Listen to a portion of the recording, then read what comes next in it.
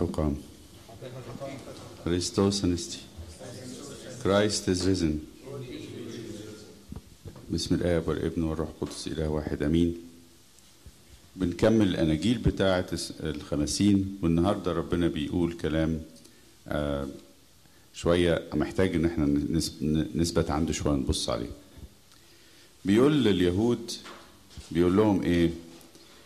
أنتم أنتم من أسفل وأنا أنا من فوق.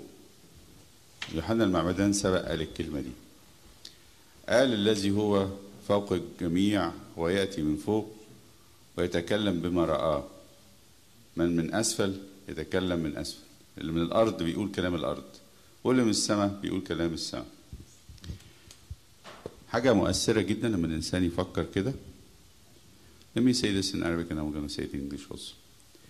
حاجة لما يتأثر في البني آدم جامد لما يعرف خصوصا اللي فينا أب أو جد يعرف إن قد كده ما بنتعب من أجل عيالنا وهم صغيرين وهم مش فاهمين فما بيقدروش ما يعرفوش. لأن ما عندهمش فكرة إيه اللي بيتعمل من عشانهم عشان الدنيا بتاعتهم إيه؟ تمشي ما يعرفوش. ولا عندهم فكرة عن المستقبل. صعب جدا إن أنت تشرح لطفل صغير إيه إيه اللي هيحصل في حياته لو ما عملش اللي عليه. لو ما راحش المدرسة لو ما ذاكرش لو ما اهتمش بأسنانه لو ما اهتمش بصحته. وتفضل الأم والأب ورا العيل يا ابني كل يا ابني ذاكر يا ابني اعمل يا ابني اتقطع قلبهم ومرتهم تتفقع. وهو فين؟ ولا هنا. لأنه إيه؟ ببساطة ما يعرفش. هو مش فاهم. فهو ربنا هنا نفس القصة. تخيلوا بقى إن مفيش حد فينا ما حدش فينا هيقدر اللي ربنا يسوع المسيح عمله لغاية لما إيه؟ لما نروح السماء. مش هنقدره بجد. لغاية لما إحنا نوصل السماء. ربنا يدينا كلنا نوصل السماء. لكن التقدير بتاعنا ليه مش حاصل لسه. ومن هنا أفهم ليه ربنا ينزل من السماء. ليه ينزل من السماء؟ ويسيب الراحة والمجد وكل حاجة ويفضل يتعامل كبني آدم وبني آدم من من من المعاملة بتاعته من أسوأ الأنواع. بني آدم شرير يتعامل كواحد مجرم. وبعدين يخش في البهدلة دي كلها وبعدين في الآخر يستنانا يقول أنا مستنيكم. يبقى لابد اللي هو شايفه حاجة إحنا مش شايفينها خالص. حتى لو يعني أكتر قديس فينا اللي راح السما وشافها بعينيه. ما يعرفش يحس باللي, ربنا. زي ما تاخد العيل كده وتزوره الكليات وتزوره المستشفيات وتقول له ده يحصل لأن ما ياخدش باله من نفسه؟ وده اللي هيحصل لما تعمل كويس ولا وده الشغلانة الكويسة اللي هتاخدها لما هتذاكر إلى آخره. مهما حصل في الآخر هنعمل إيه؟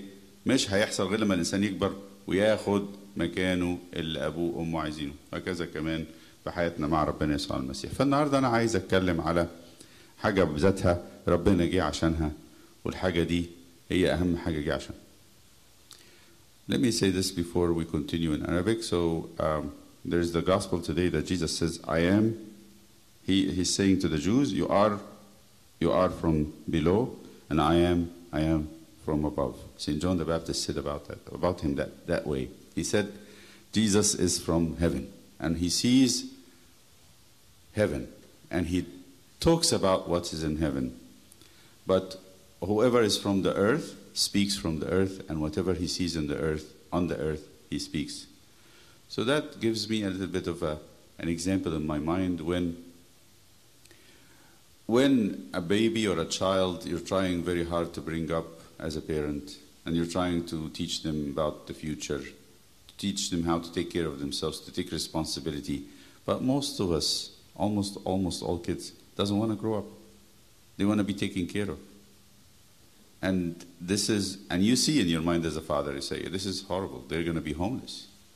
No much money, how much money I leave him or how much security I leave him, they will be miserable. They're not going to be able to take care of themselves. They're going to do bad. You take them and show them, you know, what happens to homeless people, and you take them and show them what happens to people who, when they steal, or you take them to the colleges and show them what they need to be in, this, in, the, in the high college to get a good degree yet it doesn't give them the full picture. And I believe Jesus is having the same issue. None of us will appreciate what Christ had done for us until we reach heaven to fully appreciate what he had done We can have a glimpse of it. Because nobody would suffer this amount of suffering unless there's something very important, very significant that He wants to give us. We can call it many ways, we can call it many things, but He sees something we don't see. لما مرة من المرات آه، قبل ما أبتدي القصة دي بس في سؤال ب- بسأله إيه أكتر حاجة ككاهن أنا شغال مع ربنا يسوع المسيح محتاج أهتم بيها؟ إيه اللي أنا مهتم بيه؟ أهتم بيه؟ إيه اللي جه ربنا يسوع المسيح عشان يعمله؟ ربنا في الإنجيل قال لنا حاجتين، حاجتين أنا محتاج أعملها معاكم. حاجتين هم في منتهى القوة الاثنين دول هم ده كل ملخص الإنجيل كله. الهدف من مجيء ربنا يسوع المسيح. مغفرة خطايانا وعطية الإيه؟ الحياة الأبدية. هما الحاجتين اللي جه من أجلهم ربنا يسوع المسيح. إن خطايانا تتغفر لأن ما حدش هياخد حياة أبدية من غير ما خطايا الأول إيه؟ تتغفر. ربنا عمره ما هيحط حياته الأبدية روحه جوانا غير لما يكون إحنا إيه؟ نضاف كفاية، لما يكون في صلح بيننا وبينه، لما نكون آه، بقينا قديسين كفاية. طيب. فكرني القصة دي ببنت كانت في كنا في بوسطن وكانت في آه، آه، الأم والأب كانوا ناس يحبوا الكنيسة يحبوا ربنا. فعندهم بنتهم والجدة توفت. جدة العيلة الصغيرة دي عندها ثلاث سنين. فالأم بتحاول وهي بتعيط الأم فماما بتقول لها ماما بتعيطي ليه؟ فبتقول لها البنت الصغيرة صعبان عليها أمها بتعيط وصعبان بتقول لها فين تيتا؟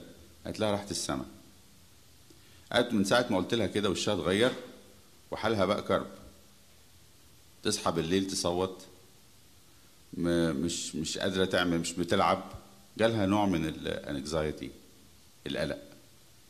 قالت أنا مش فاهمة أنا كنت فاكر فاكر لما أقول لها دي راحت السما هتعمل إيه؟ هتهدى. البنت انزعجت جدا جدا. طب أعمل معاها إيه؟ قعدت يوم يوم بعد يوم تسأل الناس تسأل الكهنة وتسأل الناس اللي تعرفهم أعمل إيه مع البنت. في الآخر عندها كتاب مقدس بتاع الأطفال أول كتاب مقدس ده اللي هو إيه؟ صور ما فيهوش كلام خالص. هي الأم المفروض تقعد جنبها وتحكي لها ونوصي الأمهات يعملوا كده يقعدوا جنب العيل ويحكي له قصص. مهمة دي. فبصت على آخر الكتاب في آخر الكتاب خالص في الجلدة الأخرانية في صورة من سفر الرؤيا على أورشليم السمائيه فالأم قالت اما أجرب. مش مش واخدة بالها هي بتخ- بتخبط في الضلمة زي ما بيقولوا. فقالت لها فالصوره عبارة عن إيه؟ صوره مرسومة بال زي زي الكرتون كده. فيها مدينة جميلة فيها بيوت منورة شوارع جميلة فيها شجر وأعلام مترفرف وشمس كبيرة طالعة كده منوره الدنيا. منظر جميل. قالت لها تيتا في المكان ده. قالت لها صحيح؟ تيتا في المكان ده؟ قالت لها آه. بس خلصت. القصة خلصت. طب الحل إيه كان؟ إن هي إيه؟ إن هي تشوف. إن هي تشوف. تشوف ال- المكان اللي هي مش فاهماه خالص. فاحنا عشان كده لما بنيجي نتكلم لما نيجي نتكلم لما يتكلم ربنا يسوع المسيح عن الحياة الأبدية وعن القيامة صعب. استحالة حد فينا يقدر يتخيل إيه؟ أي شيء. كان لازم هو شخصيا يعمل إيه؟ واحدة من الحاجات اللي كان لازم يعملها كان لازم يورينا الحياة الأبدية. يعني إيه الحياة الأبدية؟ يعني إيه؟ في القيامة في الخمسين يوم لما ربنا ظهر لتلاميذه وراهم الحياة الأبدية. ودي مش حاجة غريبة على فكرة. القصة دي أنا بقولها تن- تنطبق على حياتنا إحنا كمان وتنطبق على العهد القديم. لما جه ربنا وعد بني إسرائيل بأرض الميعاد أما قربوا شوية كده بعد شهرين ثلاثة من اللف وجم قربوا من أرض كنعان قال لهم إيه؟ ابعتوا إيه؟ جواسيس. تعالوا بعتوا الناس يبصوا على الأرض عشان تتأكدوا وتشوفوا بعينيكم ولادكم يقولوا لكم إيه اللي شافوه. فراحوا دخلوا أرض الميعاد ومش غريب جدا إن هم راجعين معاهم قعدوا 40 يوم يبصوا على أرض الميعاد 40 يوم. ال 12 جاسوس قعدوا في أرض الميعاد 40 يوم. وهم راجعين مش حاجة غريبة قوي إن اللي جايبينه معاهم من أرض الميعاد كان إيه؟ عنقود عنب. ليه؟ كل الكلام ده له معنى طبعا. لأن عنقود العنب ده اللي بيتعمل منه الإيه؟ الأبركة فجابوا لنا من هناك حاجة اتكلمنا عن الإفخارستية.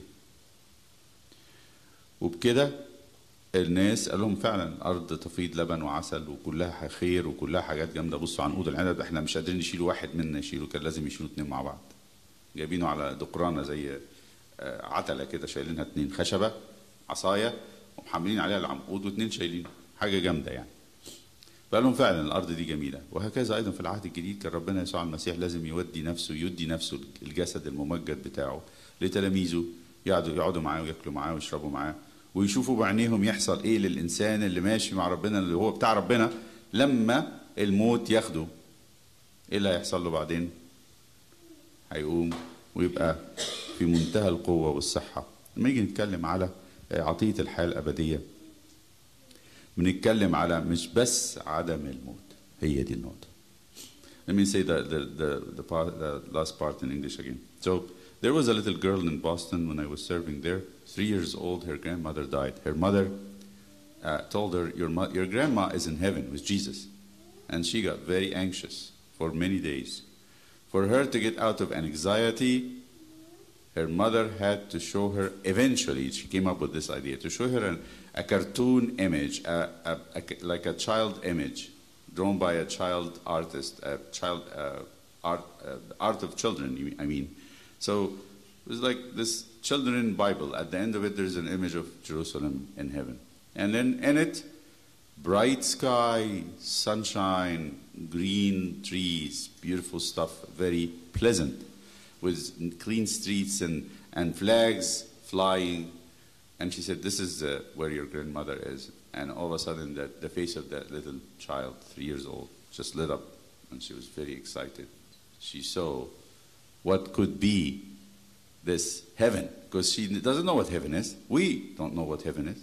But when she saw it, she got excited. The same way when the, when the Bible tells us that God told the, Moses and the Israelites, I'm going to send you to the promised land, the, the land that I promised you.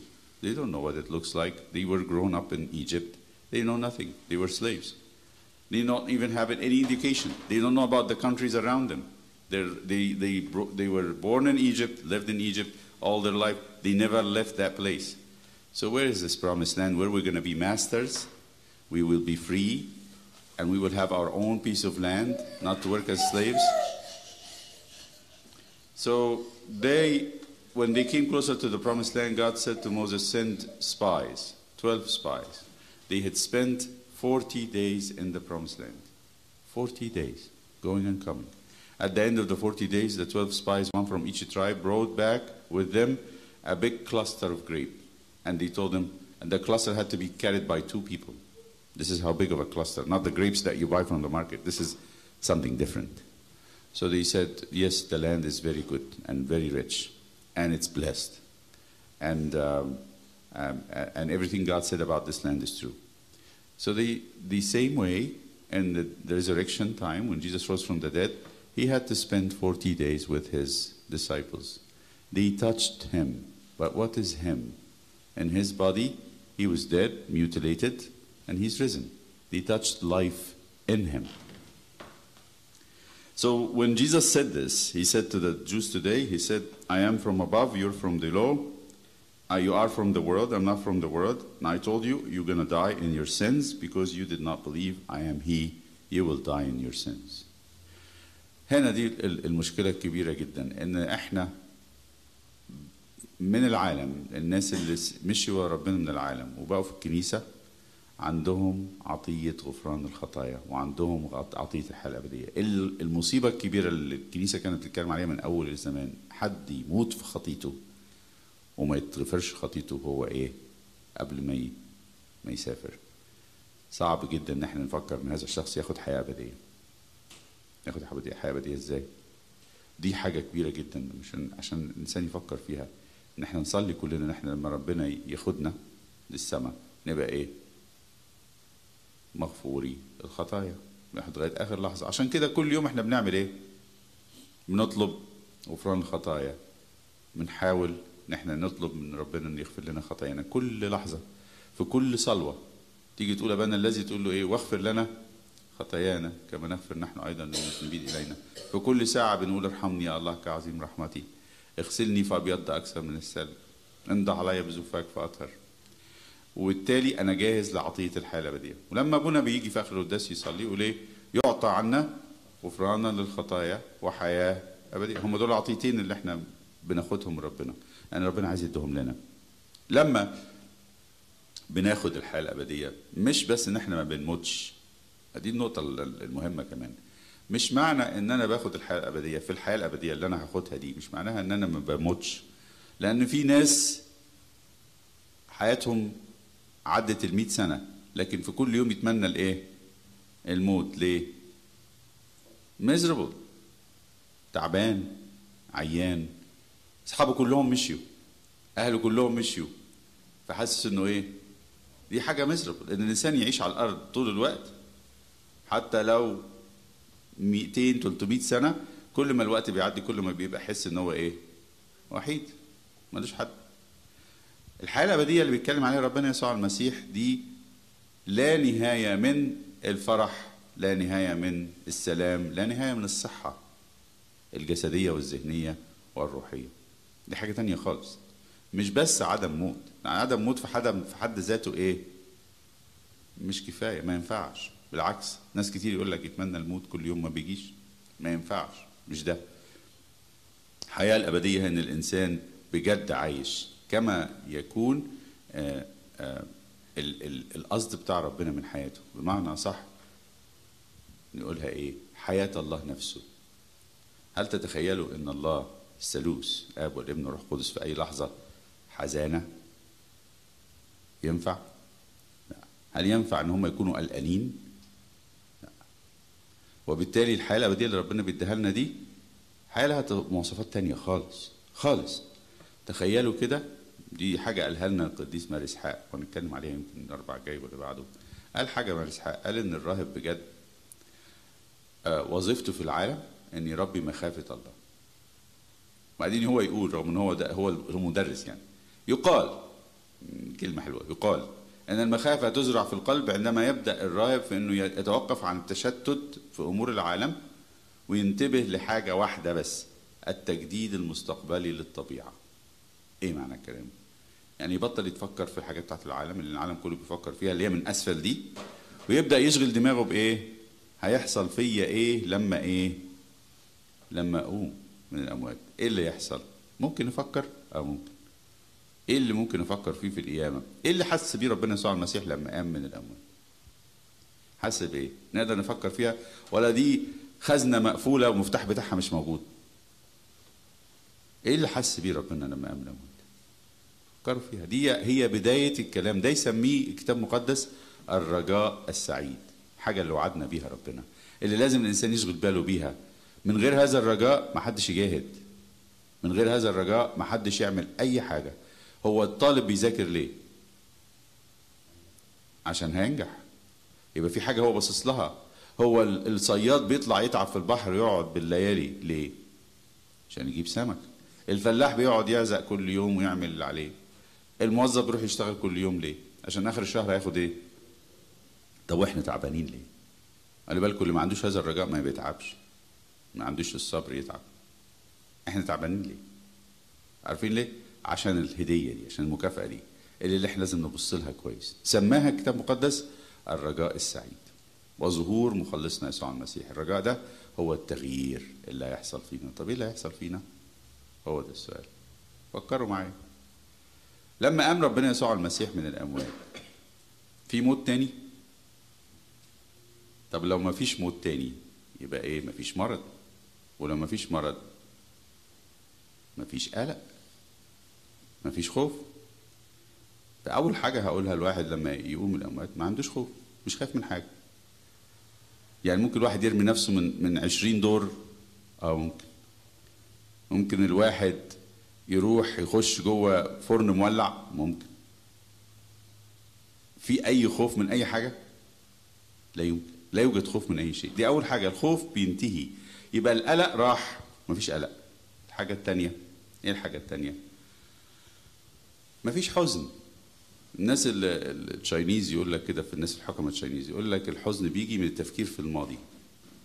والقلق بيجي من التفكير فين؟ في المستقبل. ففي حاجة في الماضي تخلي الإنسان يحزن لأن ربنا بيمسح كل دمعة قال يمسح كل دمعة بمعنى صح الماضي كله بلا بما فيه بيتنسي. الحاجات الوحشة كلها بتتنسي. ما بنفتكرش غير الحاجات بتاعت ربنا اللي عملها ربنا. أعمال البشر وكل اللي عملوه فينا بيروح. ما فيش حاجة لها معنى. طيب والمستقبل؟ قال لك خلاص مفيش تغيير. مفيش أي حاجة. أنا خدت الجائزه بتاعتي. اللي من هنا ورايح هيبقى من صحة لصحة أكتر ومن فرح لفرح أكتر. ومن مجد لمجد أكتر. طب أنا أقلق على إيه؟ لما كل حاجة مضمونة. اللي قايم من الأموات ده لا عنده حزن ولا عنده إيه؟ قلق. وعنده إمكانيات خطيرة جدا. إمكانيات خطيرة زي إمكانيات ربنا يسوع المسيح اللي دخل والباب الباب مقفول. ومع ذلك بيتلمس. يعني هو كسر قوانين الطبيعة اللي إحنا نعرفها دلوقتي. يقولوا جماعة بتوع ال physics واحدة روسية كانت معلمه physics لما بصت على ال shroud وفحصته كويس قالت آه، وكلهم بيقولوا كده بيقولوا إن جسد ربنا يسوع المسيح كان متعلق في الهواء لما القيامة حصلت. في لحظة هي متعلق في الهواء وال وال والكفن مشدود فوقيه وتحتيه. قالوا المنظر ده من ناحية الفيزياء حصل مرة واحدة بس في التاريخ بتاع الكون كله. بداية الكون يسموه event horizon والأشعة اللي طلعت من الجسد طالعة موازيه للجاذبية طالعه فوق وتحت. فضرب- فضربت الكفن في الحتتين دول عملت الصورة دي.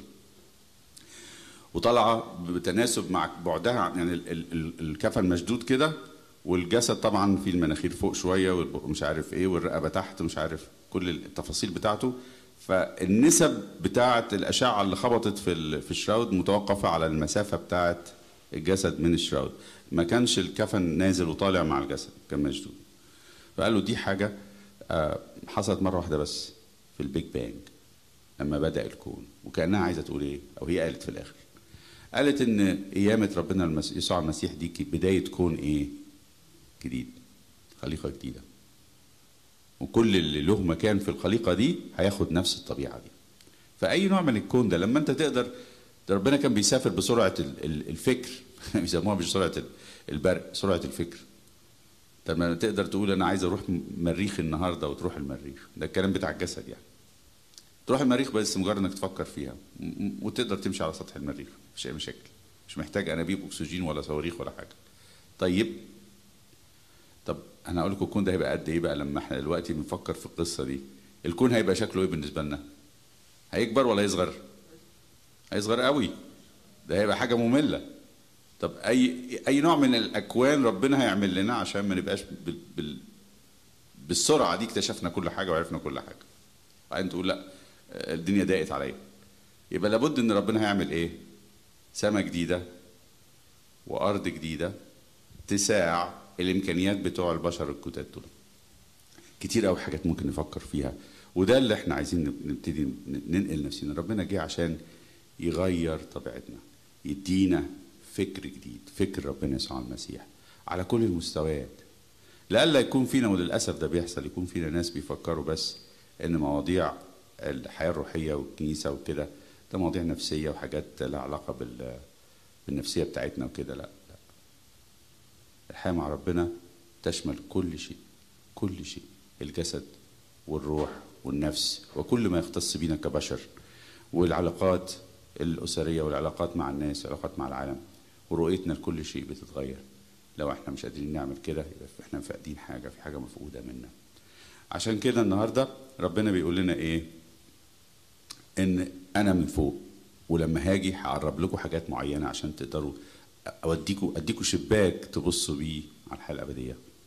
تخشوا كده جوه وتبصوا على الحياة الأبدية. محتاجين نعمل كده؟ ولو هنعمل كده قديس يوحنا قالها في في الرسالة بتاعته.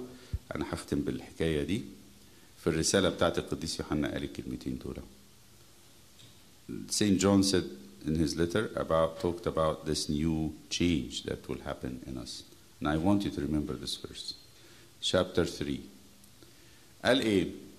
انظروا أية محبة أعطانا الآب أبو المسيح أبو الابن حتى ندعى أولاد الله من أجل هذا لا يعرفنا العالم لأنه لا يعرف مع أن إحنا شكلنا زي بقية العالم ما نختلفش عنهم كتير في الشكل دلوقتي. وبعدين قال إيه؟ أيها الاحباء الآن نحن أولاد الله. إذا ربنا قال أنتوا اولادي يبقى إحنا إيه؟ لما ربنا بيقول حاجة كوني تحصل. الآن نحن أولاد الله ولم يظهر بعد ماذا سنكون. محدش عارف هيبقى شكلنا إيه لما إيه؟ لما لما نشوفه. ولكن نعلم إنه إذا أظهر مين ده بقى اللي أظهر؟ حد عارف ده مين؟ هي هي صعبة تتحدد مين بالظبط. بس هي شكلها كده مع الكلام إنه مين؟ لا. هو بدأ الكلام بإيه؟ انظروا أي محبة أعطانا لمين؟ الآب. هو بيتكلم على مين دلوقتي؟ هو اليوم اللي هيظهر فيه الابن اللي هيجي فيه الابن تاني لابد هنشوف الآب كمان. عشان نشوف الآب ما حدش يقدر يشوفه بال- بالعينين دي ولا بالودان دي. فاكرين لما جه ربنا يسوع المسيح وظهر لمريم المجدليه قال لها إيه؟ قال لها لا تلمسيني لأني لم أصعد بعد إلى إيه؟ عشان يطلع الجسد ده يحطه قدام أبوه لازم كان يحصل إيه؟ يتغير يقوم ياخد الطبيعة الجديدة. فبيقول ولكن لم يظهر بعد ماذا سنكون؟ إحنا مش عارفين شكلنا هيبقى إيه ولكن نعلم إنه إذا أظهر الآب نكون مثله. لأننا سنراه كما هو. أمال بيقول لنا أولادي بس كده كلمة يعني لا يكون إحنا فاكرين ربنا بيجاملنا. أنتوا أولادي قبل ما واحد كده يكون مدرس ولا يكون يا ابني أنت أنت ابني. وهو يقصد ولا ابني ولا حاجة. عارفين القصص دي؟ هو هو مش ابنه ما بيحبوش. بس هو بيقول له كده. ربنا مش كده خالص. لو ربنا قال دعانا أولاده يبقى إحنا بجد إيه؟ أولاده. هي دي. قديس. قديس بولس يقول نفس الكلام. يقول لأن الخضيع الخليقة تتوقع استعلان مجد أبناء الله. يعني الخليقه مستنية تشوف هيحصل فينا إيه بعد القيامة. طب هيحصل فينا إيه بعد القيامة؟ هنبقى زي مين؟ زي ربنا يسوع المسيح. وهنبقى زي الآب لأن في القيامة ربنا يسوع المسيح خد رجع تاني بالبشرية بتاعتنا يبقى واخد شريك في طبيعة الله الآب. دي يسموها شركاء الطبيعة الإلهية القديس بطرس اتكلم عليها. كلام كبير جدا. إنسان لازم يفتح ذهنه. قال ربنا يسوع المسيح حاجة السر دي الإيمان. نصدقه مفيش حاجة تانية ملهاش حل. ابنك وابنك مش ممكن هيقدروا يصلحوا حياتهم غير لما يصدقوك. مش شايفين ومش عارفين هيحصل لهم إيه. الحل الوحيد إن هم إيه؟ يمشوا وراك يسمعوا كلامك. وي- ويصدقوا إن أنت عايز مصلحتهم. أصحى الصبح بدري ليه؟ أعمل سناني قبل ما أنام أتفرج على التلفزيون لغاية لما أنام على الكنبة. وايه المشكلة؟ أستحمى ليه؟ أعمل أي حاجة ليه؟ أعمل واجباتي ليه؟ لازم يعملوا إيه؟ الحل الوحيد إن هم يصدقونا. لو ما صدقوناش مفيش حاجة من دي هتحصل. عشان كده ربنا قال إن الإيمان هنا شرط عشان الإنسان يبدأ يفكر في الحكاية دي ويغير حياته. لو أنا أعرف إن أنا مسافر في بلد زي ما الناس اللي جت أمريكا هنا ببتدي بقى أعمل شوية تحضيرات بحضر لنفسي شوية حاجات. إذا جاي أمريكا من مصر لازم أتعلم إيه؟ إنجليزي. واتعلم السواقة. وبنقعد ندي في وعظات ونقول لهم تعملوا إيه عشان لما تيجوا البلد دي إيه؟ تلاقوا مكانكم. فأنا لو هروح السما هعمل إيه؟ ولو ده هو هي دي الصورة اللي أنا هبقى عليها يبقى لازم أعمل إيه؟ هو ده السؤال. قالوا كده في الكتاب المقدس علمونا. قال لك لما الإنسان بيتألم من أجل ربنا بياخد قيامة أفضل. قيامته بتبقى أحلى. منظره بيبقى أجمل. ما يرضاش يقبل ال- الراحة ما يرضاش. ينفعش لان عايز قيامه افضل very short in English when Jesus rose from the dead we can imagine some things like he rose with no fear no more death no sadness there is nothing to be sad about there is no more death it's complete health and complete not endless life eternal life is not endless life endless life means to live and get old and get sick but not die this is miserable endless life is miserable it is eternal life it's brimming with life brimming with joy brimming with peace and this we can think about, and this we can ex- expect and anticipate. They call it in the gospel the blessed hope. We look forward to it, like any professional um, person who looks hope has hope for achieving. A student have hope to, to have good grades when they study. A mother have hope of a healthy child when she's taking care of herself in pregnancy. A farmer have hope of having harvest when they are sowing and seeding and irrigating every day. It's a lot of work. So also we have hope that when we get done with everything we're doing in this life, Jesus will come and raise us up and we'll be like him. We'll be like him. And they said, the more we work on this, the better our resurrection will be. The resurrection that we have. That body. And imagine that body. I'm just talking about the body, not even about the psyche or this, the mood. Going through the walls defying physics. Jesus appeared in the center of the upper room and they thought he was a ghost. He said, No, I'm not a ghost. I'm flesh. Touch me. And they touched him. So, what is this? How can you push a flesh through a wall, comes from the other side, and you still can touch it? I can tell you, X ray does that. X ray go through concrete.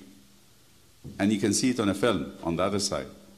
But a physical body, what is this? It's new laws of physics. One of the Russian physicists looking at the shrouds, she said, What happened in the body of Christ is a new creation, a new universe. It only happened.